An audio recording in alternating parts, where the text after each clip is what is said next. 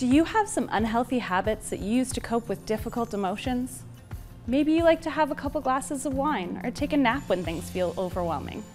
While these habits make us feel better in the short term, they reduce our ability to cope with difficult feelings long term. One way you reduce your reliance on these habits is to ride the wave or go urge surfing. This means acknowledging the desire to engage in a behavior and sitting with it as the urge becomes stronger and eventually subsides just like riding a wave.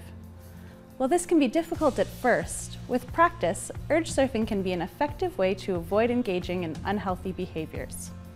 So next time you feel the need to grab a glass of wine or take a nap in order to manage your emotions, try surfing instead. Your mental health break has been brought to you by Sullivan & Associates Clinical Psychology, helping you live the life you deserve.